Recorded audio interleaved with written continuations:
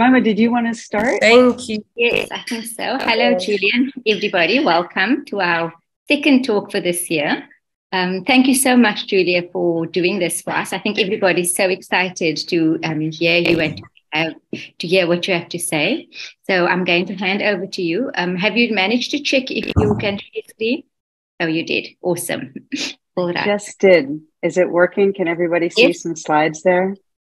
Perfect. And then yes. I'll to the chat. But everybody, if, if anyone has any questions, you can just um, raise your hand on the bar and then we will uh, make sure Julia gets your attention.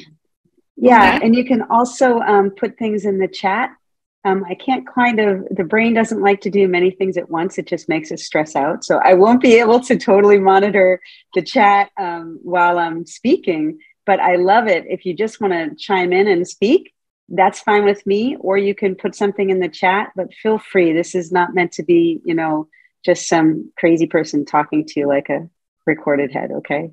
So yes i'll feel also free check, to, i'll monitor the chat for you um julia. Thank you i'm grateful for that. Okay so let's start. We're going to talk about neurodevelopmental roots of montessori education. First i'll tell you who i am. I am a montessorian primary trained uh, and also teaching grown-ups now um, and I actually do a lot of this work through my company, Maitri Learning, um, and through the Brain Health Initiative, where I'm a faculty member. And I do guest lectures and teaching assistantships at Harvard, where I did my graduate work. And I love science. And the cool thing, the reason I'm telling you this is because I did my graduate research at Harvard on the movable alphabet, and it won the Dean's Prize. So this is not to say I'm so great. It's to say that the Montessori movable alphabet won the Dean's Prize at, at Harvard for research, right? So this is really exciting. It's starting, Montessori is starting to get people's attention in higher education. So that's great news. Um, and I'm a mom. I have one child by birth, one child by adoption, and a dog by adoption, and a husband who's a biochemist. And we're totally geeks at the dining room table. We terrify our children and we like it. Okay, who are you? Can you, I'm going to make my screen a little wider. Can you just raise your hand so I can find out if you have children at home? Just physically raise your hand or you can do the little icon. Okay, a lot of us have children at home. And uh, infant toddler teachers, anyone here an infant toddler teacher? We have Joanne. She the only one? Oh, Joanne. All right, you're courageous. And Shemima sometimes, okay? Uh, anybody preschool, primary like me, three to six, ages three to six. Okay, Asma, Sumaya, Rima, Paige, Jemima, you're my people. Okay, glad you're here. And Jane, I think. Anybody elementary? We have Rochelle, Guinevere. Okay, so you've got a friend. Eh, and Marika, thank you, Marika. Okay, and let's see what else. What's next? Anybody adolescent? Any adolescents? She's doing double duty. Okay. All right, great.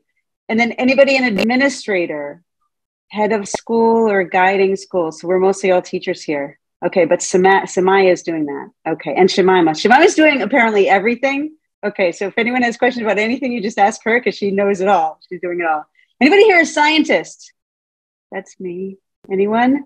Anyone? Sumaya's like maybe. Okay, so first of all, if you're Montessori trained, you are a scientist. So you can all actually raise your hand because you're trained in observation. She didn't have uh, MRIs. She didn't have any fancy imaging, and she still used her eyes and her scientific training to study children in the brain, and it worked. Okay, so you can too. Okay, so why did I make time for that? We don't have a ton of time, but it's important to do things like that because emotions and relationships and inspiration are actually essential for learning. And so having this few moments just to get to know each other a little bit, already people started to turn on their screens, things were different, and you started to feel a little bit more comfortable.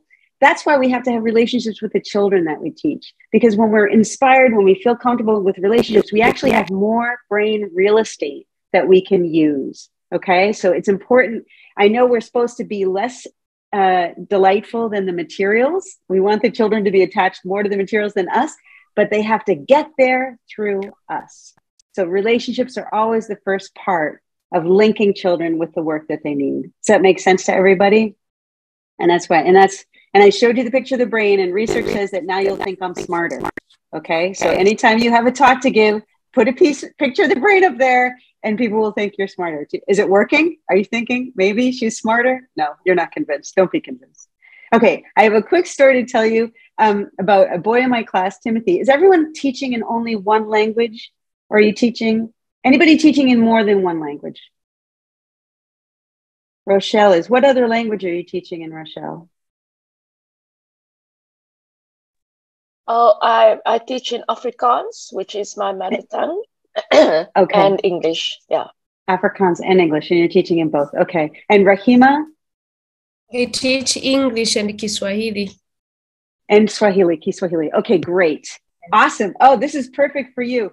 Uh, so Muriel Dwyer is one of my, uh, I fangirl her, but she's passed away now, but she was an AMI teacher trainer in London and in Africa. And I'm not sure exactly where, but she taught in English and Swahili. And she developed, she refined the Montessori method so it worked for partially phonetic languages like Swahili and like English. So we'll talk a little bit about that.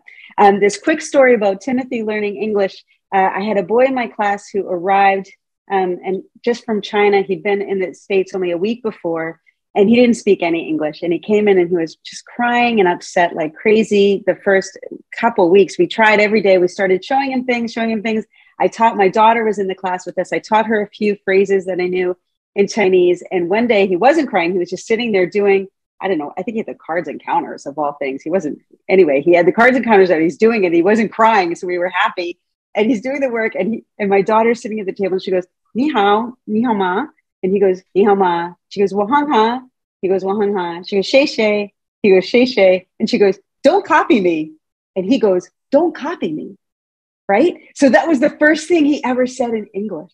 He said it because she had this relationship with him. So that's a little example of how important relationships are. Once he did that, everyone's like, Timothy, did you just speak English? And we all like had a little parade around the classroom. We were so excited. And everything changed for him at that moment because he realized he had social support connection and some capacity that he was going to succeed.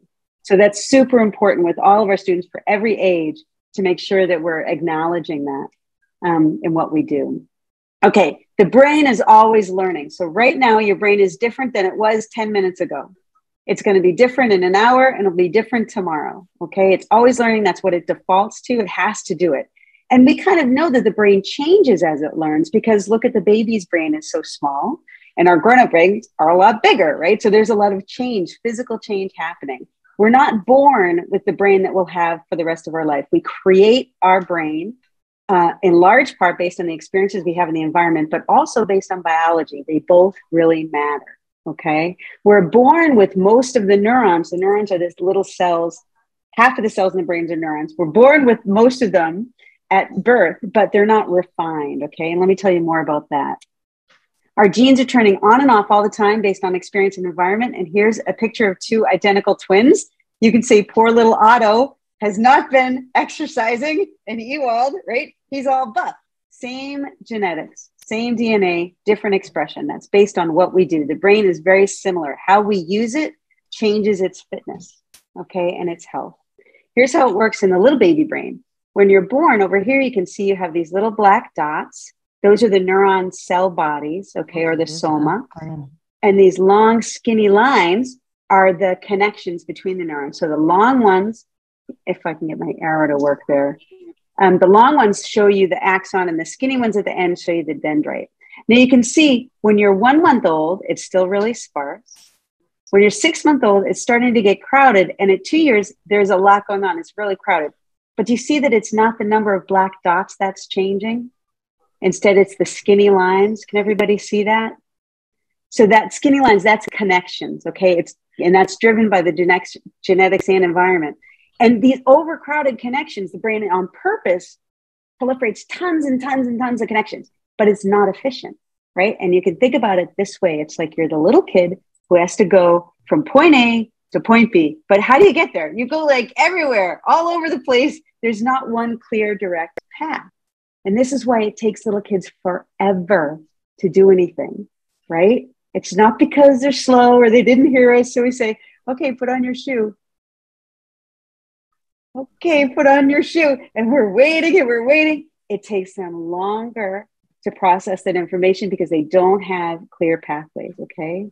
This is one of the reasons why we slow down so much when we're working with young children. That Dr. Montessori taught us that we have to go slow down at their level because their brain just can't process things as quickly as ours. So we mm-hmm. slow down. Okay. And there's the brain science behind why we slow down. Now, as we age, these underused connections get pruned away. All right. And so we've got the, oh, somebody's unmuted. It's a little distracting. Did you want to say something, Babawa? I think it's Babawa. Someone is. Yeah, did. Oh, someone's having a nice conversation. Can you figure out who it is, Shemima, and meet them? That'd be great. So at birth, we have these sparse connections, like you saw. And then at age seven, it's very crowded. Okay. And then at age 15, it's not so crowded. So is that like what happens with Guinevere? She's teaching the adolescents. That's what happens, right? They lose all their connections, so they're crazy when they're teenagers.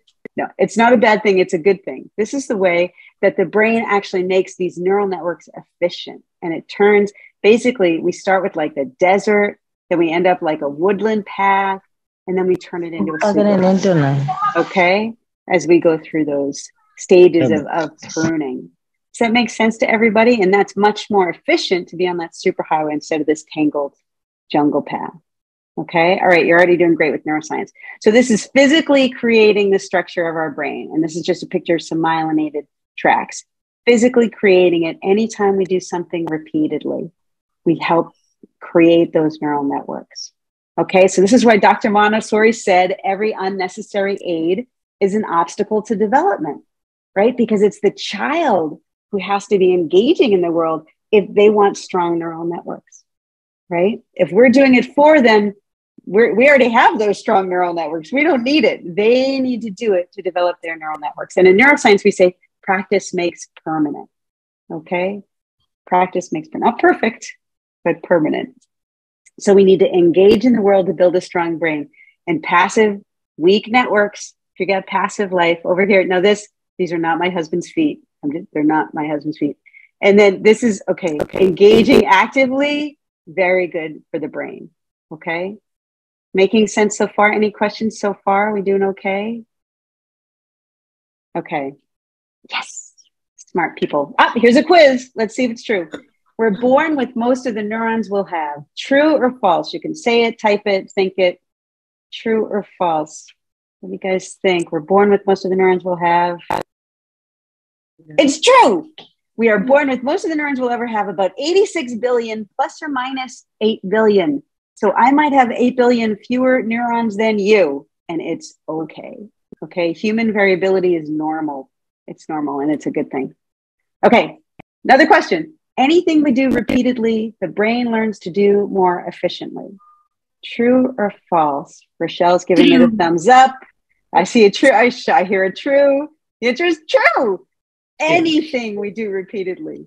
So if we get a little stressed out and we're like, okay, I'll do a little yoga, I'll meditate, or I'll eat the cookie, our brain's going to get very good at whatever it is we do repeatedly. So if like we're always going for the cookie, we'll be like, oh, I'm just going to eat a cookie, eat a cookie. Every time you feel stressed out, you're going to want the cookie. So be careful what you choose to do because the brain's going to get good at it if you do it repeatedly. And with little kids, it doesn't take, take many repetitions at all for them to become really solid in their networks, right? Because their brain is programmed a little differently than ours. Okay. So, uh, next thing. Any questions so far? Are we good? You like my jokes? Okay with the cookie joke? Okay. Next, forgetting is a normal part of learning. I know this is like, you're not going to believe this. Okay. So here I'm talking about dynamic skill theory, dynamic development of skills. Here's what happens. Right now, we're all together. We're talking about brain, we're talking about repetition, we're talking about pruning, and you're like, this is cool. I'm there, right? Okay.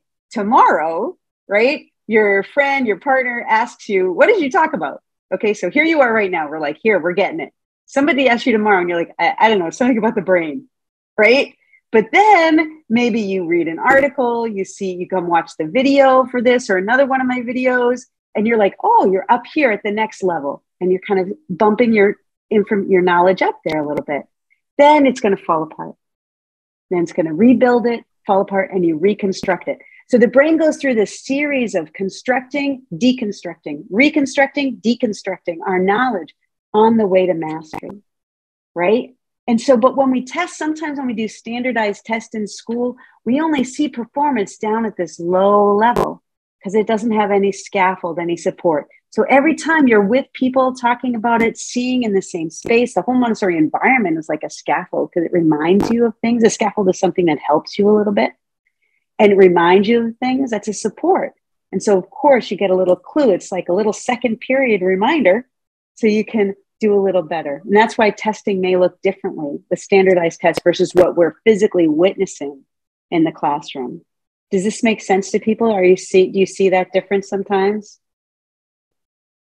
Okay. All right. And then processing time is super important for memory consolidation. So processing time is time when we're not on our phone, you know, like not on the phone, right? We're like not on the screen. We're not, we're just thinking, maybe staring outside, maybe we're outside sitting down. Nothing intentional is happening. We're just processing. And I'll tell you this little study they did on this little mouse. They had a little cap on his head and they watched him go through the maze. Okay. And the, the mouse got to point A in the maze and a little part in the brain light up, like point A. And then goes to point B, little point B lights up. Point C, point C lights up. Point D, he stops. He scratches, he sniffs, and point D, C, B, and A light up. It's in the pause that everything comes together. So pausing is super, super important. And with the children, this is why we let them work at their own pace, right? This is why we don't mind if they stare out the window. Maybe they need to stare out the window, right? It's not a problem. And for ourselves, at the end of this talk, I'll get the very end, I have a little uh, thing for you to do. But if you just take five minutes, three minutes to pause and can think about what you just learned, try to pull it together, your memory for it will be dramatically improved the next day. Sleep is also super important for memory consolidation. So try very much to pay attention to your sleep. Don't stay up all night with your friends, at least not every night. And make sure you try to get enough sleep. It's super important. Okay.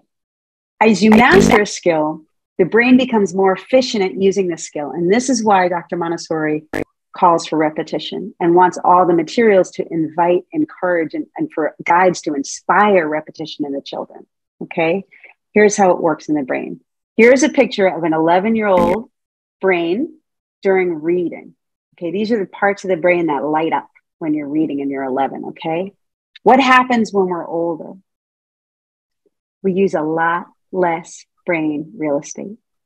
Why? Because we're all super highway now. No more jungle, right? We're super highway. We need hardly anything to do it. So, what does this mean? That for us, reading is effortless right? Once we get to this mastery level, it's no effort. But for the child, it's effortful. We have to remember, I think sometimes it's so easy for us adults because something's so simple for us and effortless for us, we forget how much effort it takes the child to do it. And this is a real clear example of that. Okay. So once we're pros, it becomes easier. There's more resources available in the brain. Any questions about that? You know, I'm going fast. I'm giving you guys so much stuff. Okay. Okay, I'll go on. So learning is easier when you're younger, but we're never too old. Never too old. And this is how plasticity works. Plasticity means the capacity of the brain to change. You've probably heard neuroplasticity, that term before, yeah? So it's the capacity of the brain to change.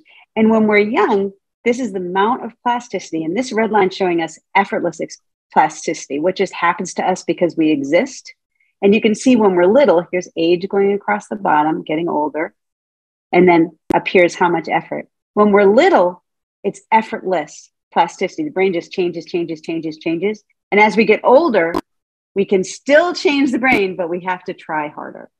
It takes more effort. Okay.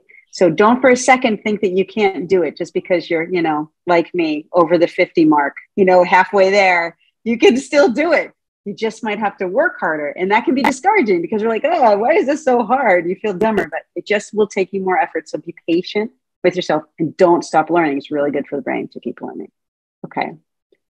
And the sensitive periods are periods of more plasticity where the brain is primed to learn specific types of things. And there is some evidence in neuroscience research, neurobiology for sensitive periods, but it's just a little bit of research. We need a lot more research on it but it's true that they exist. We can definitely say that. So, what you've studied from Dr. Montessori, she was pretty much spot on with sensitive periods. Now, executive functions may also have a sensitive period. Has everybody, has everybody heard? Can you raise your hand if you're familiar with executive functions? I want to make sure it's not a cultural thing that, oh, I got my hand raised. That's cool. Yeah, I'm familiar with executive functions. I don't raised my hand. That's fun. Wait, I should put my hand down. That's so funny. Oh, well. Put my hand down. Lower hand. Okay. Thank you. Okay, good. Oh, and Katya's clapping too, or she's just randomly hitting buttons like me. Okay. so, executive functions. These are the foundations. Um, what we do when we're little is we're working on um, foundational executive function skills like working memory, which is the ability to keep track of something um, that you're going to use later. Like if you don't put your shopping list on your phone, right, and you just remember, you know, the things you have to get at the grocery store or at the market, then that's your working memory being used. Okay. Um, inhibitory control is not doing something unskillful. So, like if your boss yells at you, you don't yell back. Or if a parent, if a parent comes in all feisty with you, you don't fight back. You're calm, even though they're coming at you. So you have inhibitory control. Or not eating the third cookie. I like cookies. That's inhibitory control. Okay. Just have two. Okay. I'm not, that's my weakness. So it also in children, they're developing inhibitory control, and that is really directly related with self-regulation. Okay, this response inhibition is, is and it's part of executive functions. Another foundational part of executive functions is cognitive flexibility, and that's the ability to think of what somebody else might be thinking. And we know when little children, they don't quite have the ability to abstract knowledge yet when they're in plane one. Dr. Montessori was right about that somewhere around age five, six, four, five, six, they start to develop that ability. It gets a little more advanced. And that's when they can think of someone else's perspective. So, like if you have you, you and your, okay, my example, my husband loads the dishwasher and he always puts the bowls on the bottom, but I know that the bowls belong on the top. Now, if I have cognitive flexibility, I will not make him or I will not reload the dishwasher right? To put things where I think they should be. So if I'm inflexible cognitively, I'll be like, you can't load the dishwasher this. Okay, do you get it? So that's cognitive flexibility. Thinking, okay, this is the not the right way, really, but it's going to be okay if they do it that way. Okay. Cognitive flexibility. Even if it's not your idea, it might still work. Thinking that somebody else has possibility. It's not funny. All right. So these are all part of higher level executive functions all right, that come together to form this ability that we get as we're older to reason, to problem solve, and to plan. And these are really important for everything, right? Shemima, did you want to say something? Um, yes, I just wanted to ask a question. Is it possible to have um, cognitive flexibility in certain situations, but not in others? So, like, at Give like, me an example. example is so typical of what I could do at home. You know, like really flip if someone does that. But at work, if someone does something a little bit differently to me, I, I can manage it. I can cope. I can. So, yeah. Yeah. Yeah. No, I, that is totally normal, Shemima. It can be context dependent. And so you can have, because we all, context really matters to us, right? Like how we behave as humans. If you go home with your sister or something, you're like, you put on your sweats, you put your feet up, right? You're relaxing, you're having your favorite snacks, whatever. But then when you're in the office, you behave differently. When you're in the school, you behave differently, right? That's context that we can all relate to. And the way our brain expects to behave is tied with that because it's getting clues from what it's experiencing in the environment. That's a great question, Shania. That's a really good question. Okay, so these executive functions are developing dramatically before age six. And here I'll show you how this works. This is your proficiency going up on the left with executive functions, your capacity. And then along the bottom is getting older. Okay. And you can see we have this kind of big jump from ages three to six. Look at this. Boom. Right. That's when it's all really, really developing. Okay.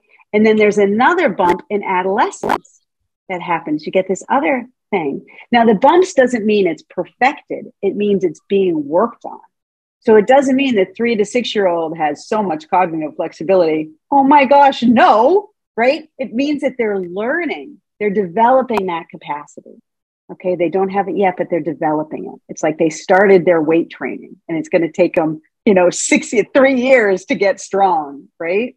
So, and just so you know, I'm there, which is lower than my 17 year old son. So I'm a little, little concerned about that, but that's true. Okay, so they're working, working very hard on, okay, when they're adolescents and when they're three to six. Now, what do we do in the environment that supports this? What does Dr. Montessori set up the environment with these freedoms, right? Freedom and, and discipline, liberty and discipline. And the child has to be free to choose their own activity and where to do it, right? And this is exercising those executive functions, planning, reasoning. Well, this is a rug work or this is a table work, right? Um, oh, I don't want to work next to him. I'm going to work over there, right? Uh, they need to work at their own pace. And that has to do again with that memory consolidation and that repetition, the level that they need, and repeat as much as they need, right? So the children need all of these freedoms um, in order to really exercise their executive functions. And Dr. Montessori just got that. That's what our whole, all of those talks you hear about freedom and discipline, freedom and liberty, that's what this is about. It's about developing executive functions. Now, they're not free to do anything dangerous, destructive, or demeaning. Okay. So if they're doing anything that's dangerous, destructive, or demeaning, we as the adult have an obligation to intervene right away because we can't subject the rest of the environment to that. And we have to protect their safety as well as the safety of the other um, humans in the space, right? But if it's not dangerous, destructive, or demeaning, then we have to pause and observe and then figure out what we do later at a neutral moment. Okay. You don't have to dive in. You might still need to go intervene, but you can pause, consider, and then make a, an intelligent, informed choice, reflective choice. Does that make sense to everybody so far? I see heads. Thank you so much for having your cameras on. It's so much nicer to see your little heads bobbing. Social cognition. Okay, this is great. Now, another aspect of the 3Ds, I call them the 3Ds. For, thank you, Vado. Thank you. Um, that stre- these 3Ds create stress responses. Okay. When people are behaving dangerously or they're doing something destructive or de- they're demeaning others, it creates stress in the environment. Stress is very, very bad for learning acute stress. And so, good, there is good stress. It's called eustress. And that's like you're doing something and it's, it's hard, but you can get there. You know, it's a stretch but you'll be able to get it if you just keep applying yourself. And that's a good kind of a stress. It's like the stress of working out to get bigger muscle, right? It's a good stress. But this is a different kind of stress. I'm talking about acute stress. And so normally, right now, nobody seems stressed out. Y'all seem good. I see smiley, happy faces. Okay. So we're not stressed out. So this is how your brain is working. You have a lot of activity up here in the front of your brain called the prefrontal cortex. That's what PFC stands for. And then all of this is kind of regulating what happens in the rest of the brain and the rest of the body. It's in charge, normal, moderate levels of neurotransmitter release. Release things are just humming along. It's kind of like that joyful hum of work when the environment's going well in your class, right? Okay, acute stress happened. Your boss walks in, your mother walks in, somebody yells at you, right? All of a sudden, you're like, what just happened? The energy in your brain physically moves down into this limbic area to the emotional response areas. Okay. It leaves your prefrontal cortex physically and gets increased here, and you get high levels of neurotransmitter release. Okay. So, what is that like? So, let's see. And then somebody asks you, you know, they yell at you, and then they're like, and how are you going to fix it? You're like, uh, I don't know. And I'm, something comes out of your mouth. Who knows if it's intelligent or not? Right. But you, the reason why is because you can't access your full brain capacity in those moments when you're having a stress response. This is very difficult to access. Now, what triggers me and what triggers you is different. Every person is triggered by different things. Sometimes it's tiny things. Sometimes it has to do with the rest of what's going on in your day, you know, and something tiny will like, oh, you're stressed, right? Sometimes you can handle a lot and it doesn't stress you out. People are different from day to day and from person to person. We're different in what causes an acute stress response. But it's one of our big, higher guiding goals in the environment is not to correct because we don't want to create this acute stress response. So we say, don't correct, represent. So when you see the child, if you're giving a presentation and, and you're, you're showing them how to do something and they're totally botching it, You don't say it's wrong. You just say, Can I have a turn? And you take another turn so that you can represent it. If it's still not working, you say, Let's try it again another day. And you put it away.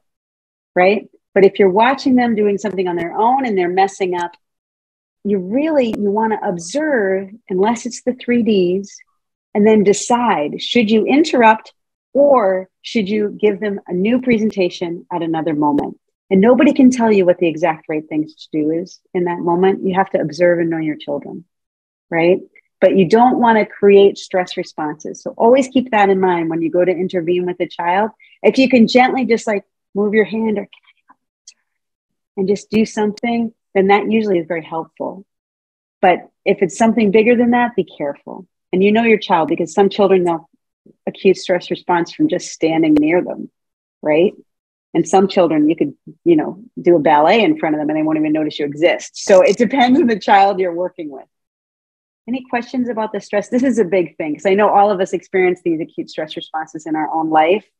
Sometimes in our families, it happens a lot, sometimes not a lot if we're fortunate but this is troublesome for the brain as far as learning concerns. So is, is concerned. So remember, if there is an acute stress response that happens, and they do happen, know that that's probably not the best teachable moment, not a good time to teach. But later, at a neutral moment, come back to what happened. Okay. Does that make sense to everybody? I see it. Thank you for shaking your head. Vado has a question. Go ahead, Vado. Okay. So, what happens if you're in an environment and you accidentally, you know, um, you accidentally show the child you are frustrated of the child not understanding and getting it, and you um, you provoke these stress responses. Now the child is crying. Now the child is just not listening and then you want to like kind of calm the child back down once you have centered yourself how do yeah. you um how do you calm the child and let and let the child like trust uh come out to the child that actually it was teacher who actually had like i'm sorry i'm yeah. sorry that i freaked out on you how do you calm yeah was, yeah yeah i think you pretty much answered your question Vado. I, the thing is you have to always respond with compassion. Compassion is the first response, and that includes compassion to ourselves. So, like, there's nothing in my mind, like, there's nothing I beat myself up more about than the times that I've lost it, you know, with children. It's like, oh my gosh. You're like, I still, I can tell you, you know, blow by blow what happened, you know, 20 years ago, you know, when I really messed up, you know, and we beat ourselves up over that. So compassion includes compassion with ourselves mm. as well as compassion with the children. Okay. So when you do have a mistake, when you do, you know, have unskillful behavior, I think you're exactly right, Vado. You want to acknowledge it. You want to say, I am terribly sorry. That was a really unskillful response. Um, and I apologize. I'm going to work on not behaving that way again. And you, you know, you can say about you, you can even work it into grace and courtesy maybe the next day. You know like what could i do instead? And do grace and courtesy lessons about it. But that day probably not because you're a little raw. So you right. might not be so skillful but maybe right. the next day. So that they then they also know that you mean it. Yes. And then you can create a culture of a skillful response to whatever it was that triggered you does that help yes yes it does thank you so much Anything else, or should we go ahead? Go ahead. Okay. Well, this is fun. Okay, relationships buffer stress. So this is again why these uh, connections with the children are so important. Um, they help, and it. This is a crazy graph. Don't worry about it. But oxytocin is good, and oxytocin we get when we have strong relationships. Okay, so it's really important. And one of the challenges that we've had um, especially in America with the pandemic, and I think they've had this in China too, where they've had crazy lockdowns. Um, it, there's so much loneliness now, and so stress affects us much more deeply because we've been isolated from each other, right? And we need those social connections to really keep our brain healthy. Our brain, think about it, we're designed to be communal um, beings. right? We're designed to live in communities. That's what humans do. And so our brains are programmed to meet, want those human relationships and to seek them out because we have better survival rates when we live in community. So that's why that's just, you can think about it from an evolutionary perspective as to why we need those relationships. It's for our thriving and survival. Okay, so up, oh, here's a quiz. Are you ready? Correcting a child when they make a mistake is important for learning. True or false? Everybody, yes, Joanne's like, no, no, no, no. That's right, Joanne, false. Corrections can lead to an acute stress response, which interferes with learning. It's more skillful to wait for a neutral moment and re-present the lesson. Yes. Okay. Next, it requires more brain energy for a child to tie their shoes than for an adult. True or false? True. Heads are shaking. True. Yes, it's true. More energy because they have these tangled connections they're trying to get through where we have super highways. Okay. Oh, here's another one.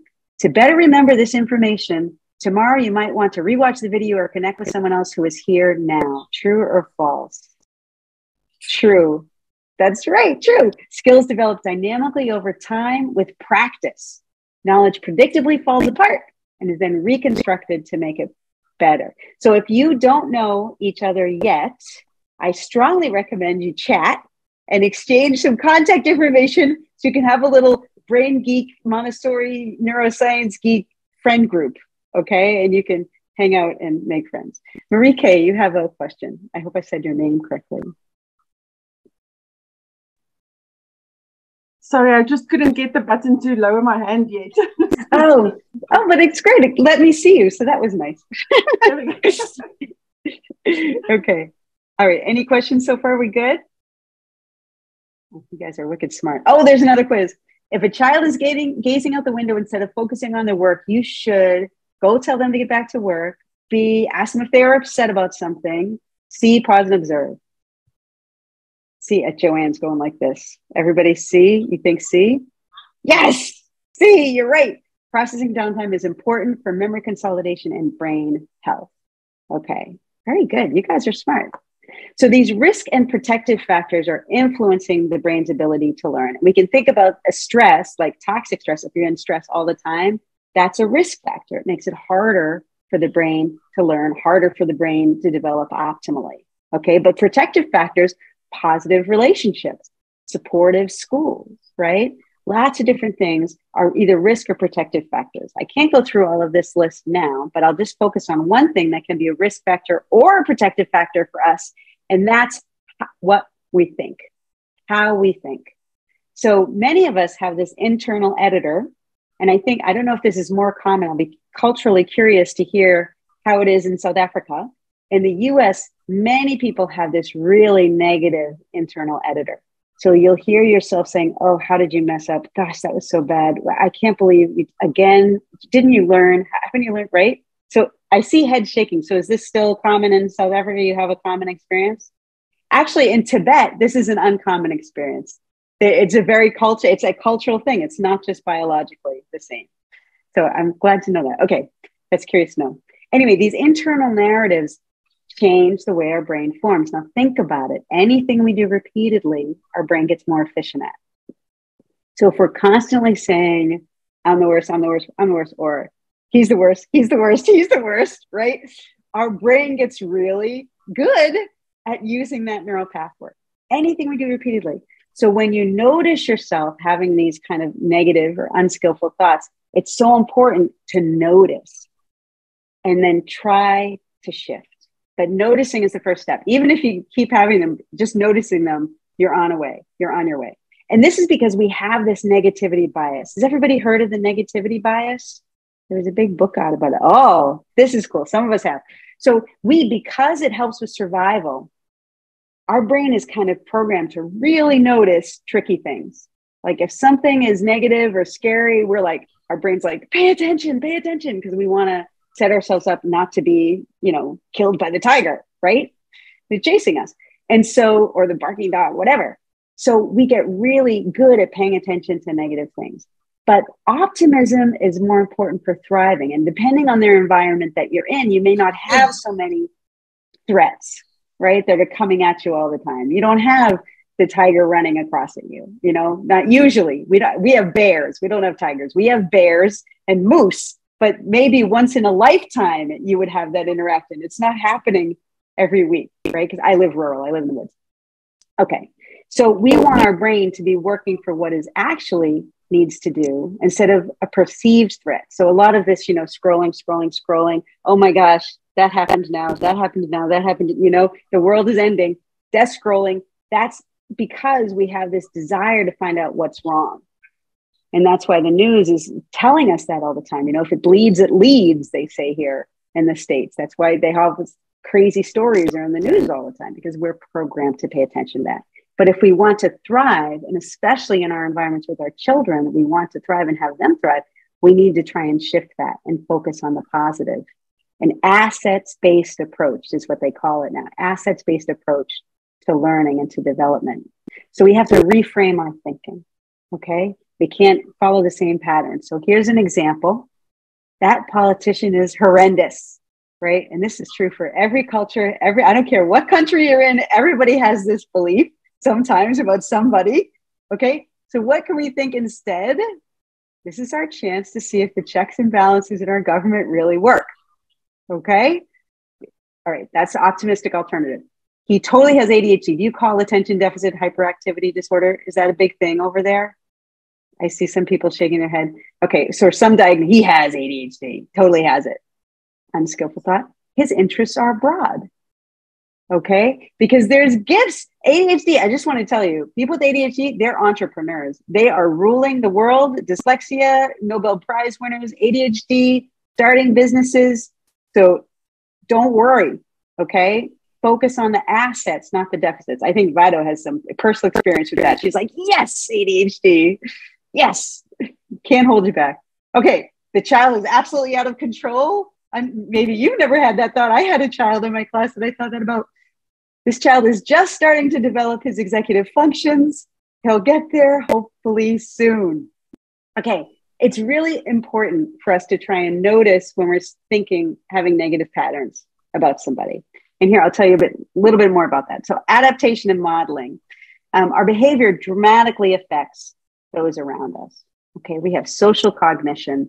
And here's this wonderful, these pictures of, you know, Michelle Obama and her daughters. And they're, look at their posture, their facial expressions. It's so similar, right? These children have adapted to the culture of their family. These children have adapted to the culture of their family. Look at the relaxed hunched, like they're just like their body posture is completely different based on the culture of their family, right? And the same thing goes for the broader culture. We completely adapt whether we're standing closer or farther away, using our hands to talk. Maybe that's just me because I'm crazy. Or, you know, some countries you don't do it, looking straight at people in the eye or looking down when we speak with them, right? It's very, it's cultural. We adapt to our culture so that we become a, a time, a person of our time, place, and group. And Dr. Montessori said, the child reproduces in himself as by a form of psychomimesis the characteristics of the people in his environment. Okay. And in neuroscience, we talk about this in terms of mirror neurons. So I'll tell you a quick story about how mirror neurons were discovered. There was a scientist and he was doing research with this monkey, and the monkey was not doing what he wanted. And the scientist is like getting frustrated. So the scientist like takes a break and he's like eating peanuts, right? And the monkey wants a peanut. And the scientist is like, no, you're not getting my peanut. I'm just eating them. And so the scientist then, like a big intelligent scientist, goes like this and sticks out his tongue at the monkey, right? Like, you can't have my peanut. And then the monkey sticks out his tongue at the scientist. And what happened in the monkey's brain is that when he saw the scientist stick out his tongue, and when he stuck out his own tongue, the same parts of the brain were active. When we perceive someone else is experiencing something, our brain experiences that same thing to a lesser degree, but it still experiences it. So this is super important for why, you know, Dr. Montessori is like, you have to wear your finest clothes, you have to use your finest language, you have to move with elegant, graceful movements. We have to offer the best possible example of humanity, even if we can only hold it together for the school day. And then we go home and we're like, ah, you know, but at least then, right, we have to offer the best possible example of humanity. To the children because they will, they experience it. That's forming their neural network. Okay. And of course, this brings up a lot of things about screens and, and what they're watching, um, etc. But I can't go there today. That's a whole, that's a whole, that's a, that's a week, that one. Okay. But any questions about mirror neurons? Does that make sense? I'm getting it. You're with me. And this is part of social cognition. Children tend to pay attention to what we pay attention to. So here, look, you look at this picture. What's the first thing you look at with this picture? The first thing. Now you're all looking around and you're looking at everything. What was the first thing you looked at? You looked at her eyes, right?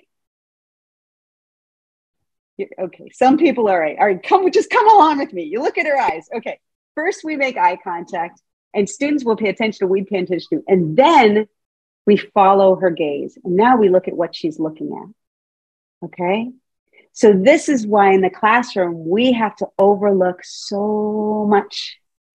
We want the children to see the best things in the classroom, to notice the best things in the classroom, and overlook as much as we can right? So I had this one student in my classroom, and he was the first child I didn't like.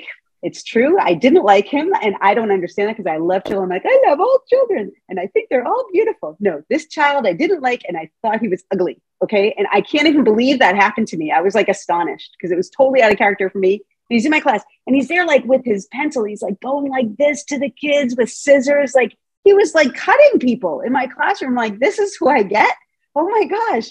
And so I called my trainer. I'm like, I don't know what to do with this child. You got to help me. And she goes, You have to love him more than you love every other child in that classroom. And I'm like, I don't know if I can do that.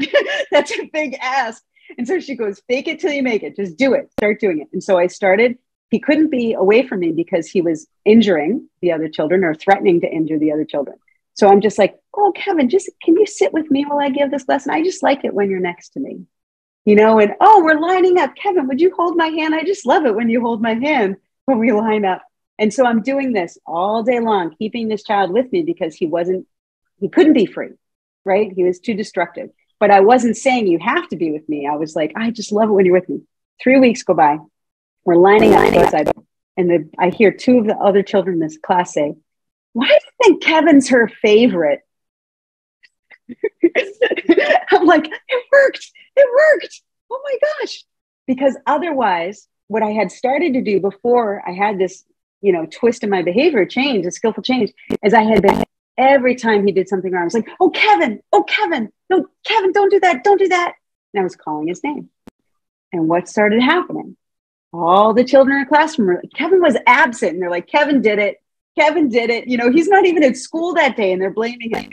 And that was me that was me. I had to stop doing that. I had to change my behavior because we, the children, pay attention to what we pay attention to.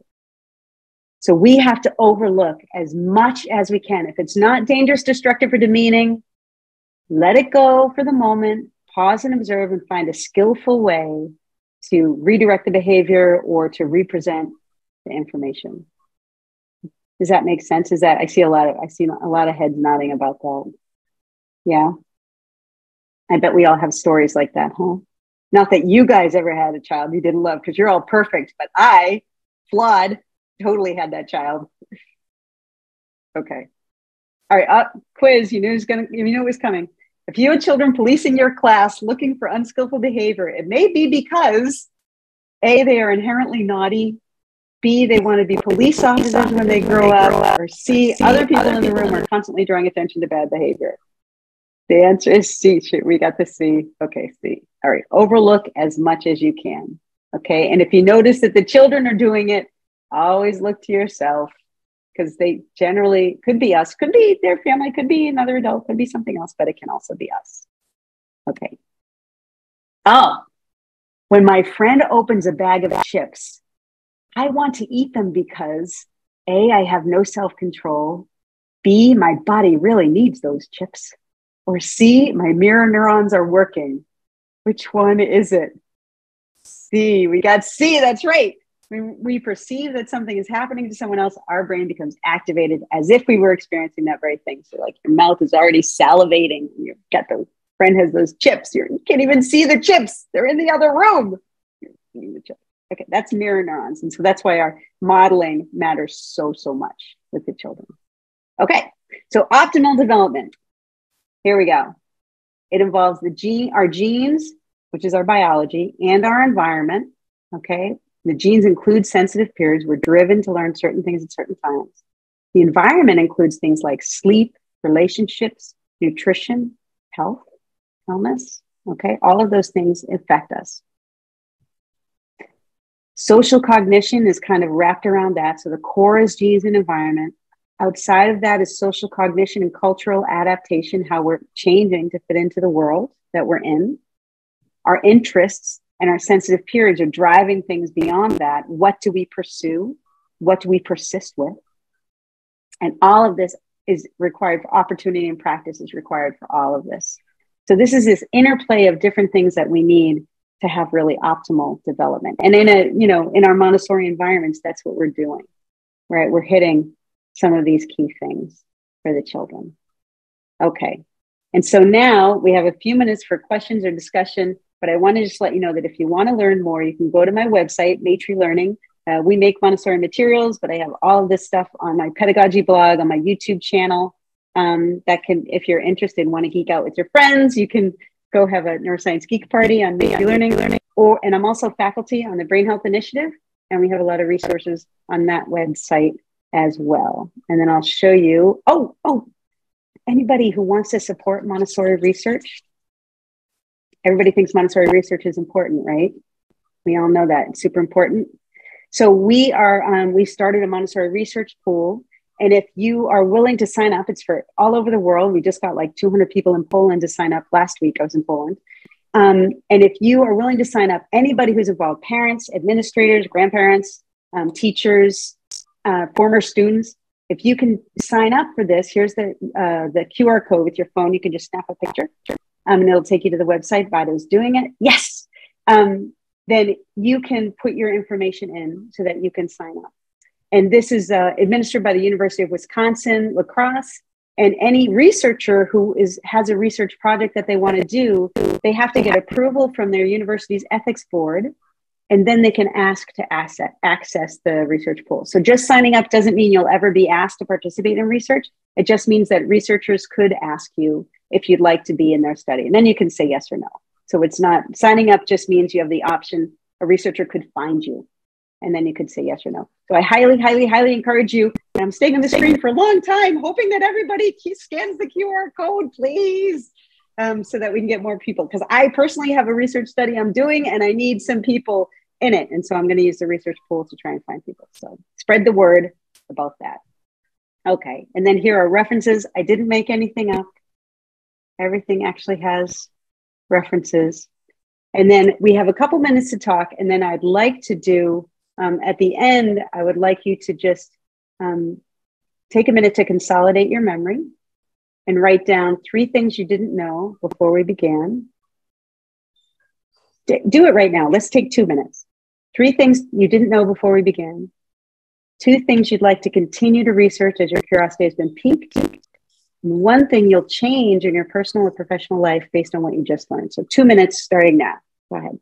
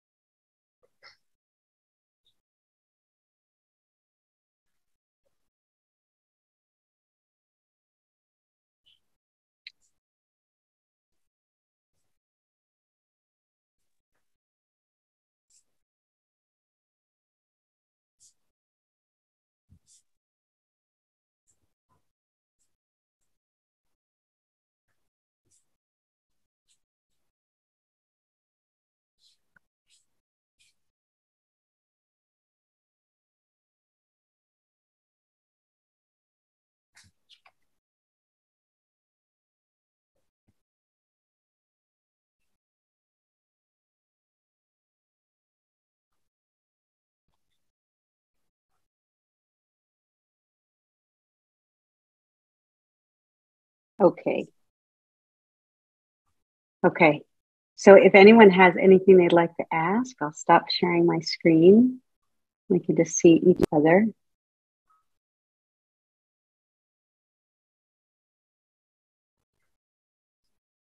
Feel free to just unmute yourself or type in the chat.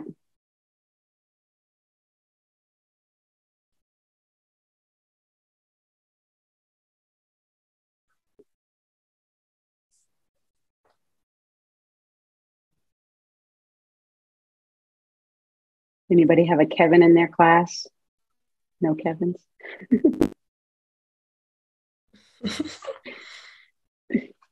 so I'm going to chat because I've got a Kevin in my class.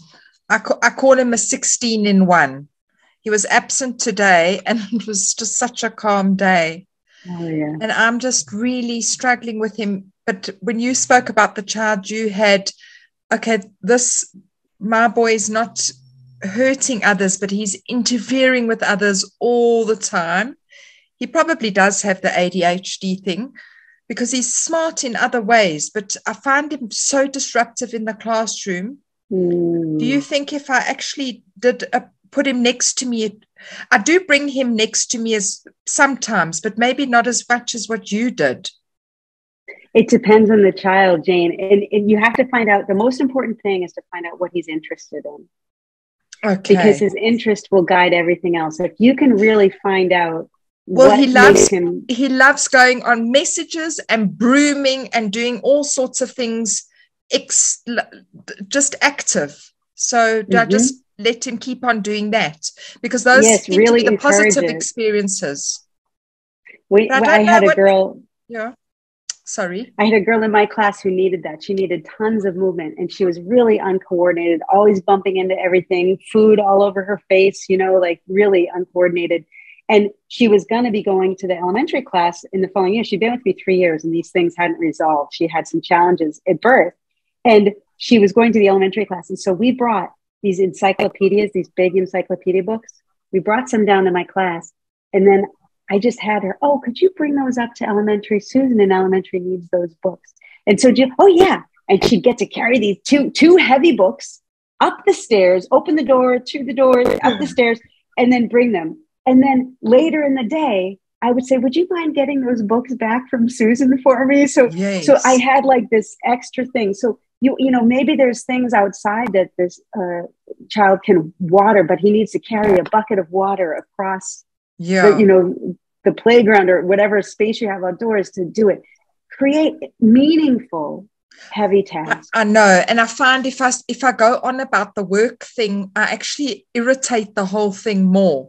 If I if it's anything to do with work, it's sort of like maths or anything like that. I just that, that it's just that aggravates him but but what what i do struggle with and i don't know how to handle this is he also he gets into fights with everyone and interferes with them he and mm-hmm. it's almost like he can't help himself his yes. nose is really in everyone's business all the time yes yes. so i was also wondering how do i address that do, yes I, I do and I'm actually I've become quite nasty, like you said. I tell him that his nose is going to grow very long because it's in everyone's oh. business. Oh. I'm oh. terrible. Oh. I think it's telling you right there that his executive functions are just developing. How old is he? He is seven, turning eight. Okay. He's still developing his executive functions. They're not there yet. It doesn't just end at six, and different children are on different trajectories. So for him, it's so clear. It's, it's, almost like it's a bit late. Yes. Not, I'm not saying it's late, but his are really things. delayed. One is the heavy work. The other thing is actually vocabulary work, spoken language work. Spoken language work is tied okay. to executive function. And it's also tied evolutionarily with reactive aggression. As we as a species improved our capacity to, to communicate with language, our reactive aggression decreased and is still decreasing as our language abilities increase. And they see this in young children that as their language abilities improve, their self regulation abilities improve. So also work on language and, of course, grace and courtesy lessons. And, them. and, and what I did want to mention is I did call mom in and but his mother actually has a lot of problems, and she she she almost is under the the the feeling that she can't make a difference to to a child as a mother. She's an inadequate mother. So she like alienates herself from him. And do you think that's why by not practicing the vocabulary and, and speaking at home that that that's why it's affected him as well, well or delayed now you everything in our environment affects us even as so, adults but can i make a children. difference but even what in the did you learn? what did you learn today that you could share with that mom Well, well, yeah, well, things. Well, just now, what you said, the vocabulary, being patient. what um, about the negative thinking Yeah, Well, I have, I have told mom about that. But I, I, I so but, speak. and then you also know that it takes time for us to master anything so repetition is important just keep supporting always be compassionate always be on her side focus uh, on what you can control in the classroom focus on what you can control in the classroom and just love the mother all children love their I- parents yes, even and that's what I did. I, I, I said that to her. I did. I said that to her. I said, you know what? He needs you. And I said, you've got to believe that you are the best mother to him. So I did speak like that to her and try to build her up and all of that because I need her on my side to be able to work with him. Bec- otherwise, So it's what- just, yeah. so i would suggest you focus on the assets of the child and the and the mother Okay. skills So and just keep assets. focusing on the assets. try not to focus on the deficits shemima Okay. thanks Shane. Great Shemima? question Shamima. Shamima, i'm so sorry no, it's no I said problem. it wrong all day Yeah, so I've got um, a question, and I think it, it comes off Jane's um, scenario as well. Where um, is there a time when you can, where it's too late to develop executive function skills? It's never, never, Okay. ever, ever too late, even when you're 90. Okay, so as an adult, if we can improve the those executive function skills as well. Absolutely. And then, sorry, this is now a follow up question on that. So, like, I, I realize the more you sp- speak about it, I, I think of myself as well versed in executive function. So, I, I understand it, or I think I understand it really well. But um, I realized when you were speaking that I have a very good understanding of the mental flexibility and the working memory, but I struggle a little bit with the inhibitory control part. So, I understand the self regulation, but um, how my question was how does Montessori um, nurture that inhibitory control? Because the other two, I can see it very clearly in the classroom. Mm. I, love this question. Thank you, Shamima. Thank you for asking it. So, this is why we have scarcity in the classroom. There's only one. You have to wait. All day long, you have to wait. And this is why we can do things like if you have metal insets and you, they're flying through the paper and you're, you know, you just put five pieces of paper out in the morning, you know, and they, that they're going to be planning that night because they, they can't, it's all gone. They go to use it every day and there's no paper left. They're going to be planning and first, boom, they're going to fly to those metal insets first thing in the morning, thinking ahead because of scarcity. So one of each material, except for movable alphabets, and I think stamp game, you need a few. But other than that, one of each, and that that builds it right in. You know, and learning to observe the grace and courtesy we do with learning to observe somebody without touching their work. I mean, we're giving that grace and courtesy lesson a lot, right? And that's inhibitory control. Putting your attention where your feet are, so you're walking around rugs instead of across on top of rugs. That's all inhibitory control. Okay. It's, I think it's everywhere. You can find a lot of examples. yes, I think Putting makes things down without making a sound, you know, putting it down. That's Yes, inhibitory yes. control. Okay, thank you. Um, and then, sorry, I had one more question, um, which I wrote down, but now I can't find it on my page. I'll give others come back to it. I'll, I'll ask. Anybody else want to ask while she's looking? Or, or talk or just comment? Noel? Are you there? I guess not. Sorry, I am here. Thank you. Ah, did you have a question? Um, I also have a Kevin in my class, um, but he's adorable. And um, I do find that, um, you know, loving him more does work. So um, the behavior is changing. We do see the change. And um, just by listening to you saying that it takes time, um, I think I will do that. And yeah. um, looking forward to the outcome. Yeah, it's we have to have so much patience. We get them for three years for a reason. Yeah. Sorry, yeah. I want to I want to go in quick with my Thank with you. my little guy. I found I, I, I found an improvement last year, and then okay, I know his father works out the country for like about six weeks at a time, so it does that affects him as well. But um, and I do love my little Kevin guy too, I must say. So even though he does drive me crazy, I, I, I do I do love him. But um, I, I found that at times he improves and then there's a regression.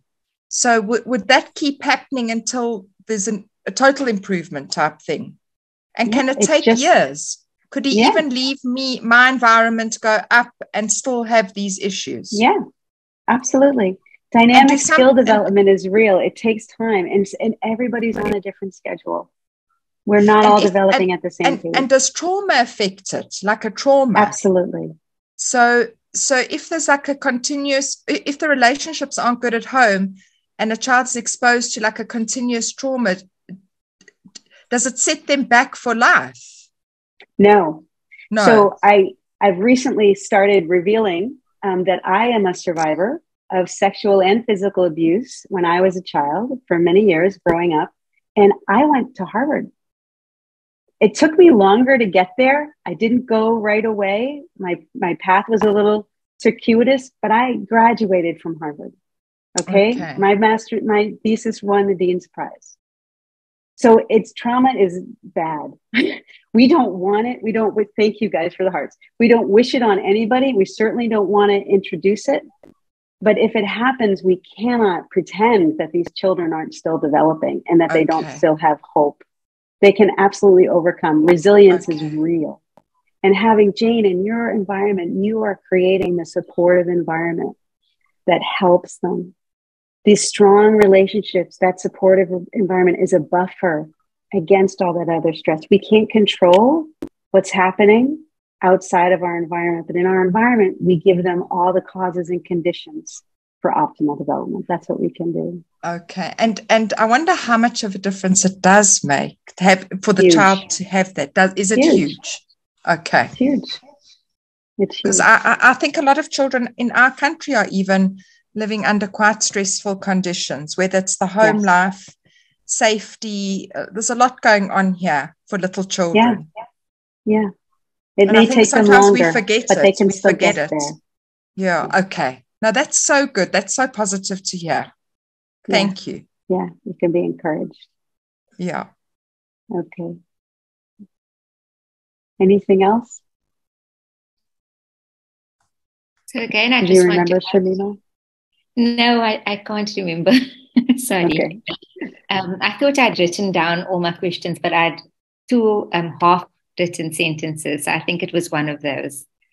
But um, I think that what Jane um, express is expressing is something that I find a lot with um, students, especially um, students or teachers that I work with, where um, it's like this: we committed to our Kevins. We we believe somehow that um, we have to really do some self talk to remind ourselves that there's faith like we have to have faith that there's hope for this child but then often um, we may we get caught into this thing of um, seeing the the home environment as the excuse you know so like the home environment's so bad how much is my impact really going to help mm. and um, i find that like in my work I have a colleague that um, I often go to and I say, Oh my gosh, I'm having a moment with the student. You know, she's really getting to me. Please, can you um, just like help me see the positive or you know things like that so i often have i, I think that that works really well but i am i've become in my work a, a, lot more aware of that feeling of how much my emotion can impact on my um, engagement with a child so i think it's really nice to to find a colleague that you can have that kind of backup with, you know, someone that you can speak to and say, like, oh, I'm having a bad moment. My Kevin is really acting up today um, please, I need help, or, you know, shift my focus, show me something positive you saw today, or remind me, even if it's the same positive thing you see every single day, it, st- it helps you to get started. Yeah. yeah. That's Shamima, that's so insightful. You just like, oh my gosh, that's like 20 years of social cognitive research. You just summed up in like two minutes. That's great. I watch a lot of your videos, Julia. ah! Yeah. So it's all po- focus on the positive as much as you can. I mean, don't pretend that you don't have work to do on what's unskillful. We still have to address that, but keep your attention on what's working yeah. to overcome our negativity bias. And always Absolutely. approach the families, especially with compassion. We have to love the families as much as we love the children, which is sometimes very hard for many of us because we, you know, because we know. Yeah, my colleague so love the families my colleague just sent me a message to say that I know I'm that colleague you're speaking about and you drive me crazy. so it's rather driven crazy than the poor child or student, I think. so, okay. And I see um, there's another question here um, from Tinova um, about having direct uh, disruptions. Um, oh, it's your child. Oh, don't worry, it's not your child. we does anybody have my child? Let me tell you about my child. My son, adopted from Kazakhstan, lived his first year of life in the orphanage. Tricky, tricky first year of life. So a lot to overcome. So when you talk to me about trauma, I, I've lived it with myself and also with my son and he's doing wonderfully now. He's 17. He makes me crazy because he's 17, but he's doing wonderfully, right? It's, it's nothing to worry about. And he, every day I went to pick him up at school, and he was at Montessori school for primary. And his teacher would tell me what he did wrong. Every single day, it's like, up, oh, he pushed so and so, he threw sand in the sandbox, he, you know, he bit someone. I was like, every single day. It was, I, I didn't want to pick him up. I would go to school and I'd be like, what did he do today? It's just constant, just constant. And this is, you know, th- I'm supposed to know what I'm doing, right? And this is my child, right? And I'm like, I'm supposed to know better, right? I, why, how could this happen?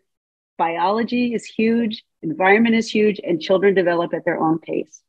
What we can do is be strong, be consistent, create an environment, a, a, physical environment and an emotional environment with routines and consistent responses that supports their development. Right? That's what we can do.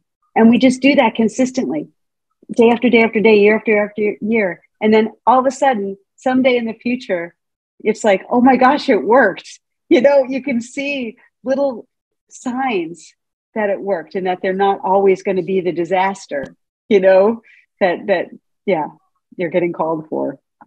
Does that answer your question?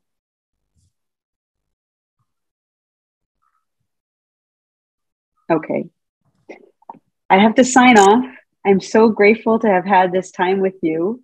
And um, I'll put my email in the chat in case um, anybody wants to follow up with me on anything.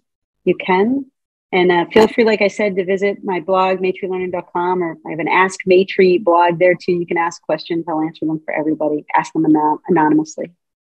Okay. This was fun. Thank you, Shamima, for having me. Thank you so much, Julia. It was so fun. I really much. I think you just said very nice things about me, but the internet froze. So I thank you for thinking. I'm well, just assuming you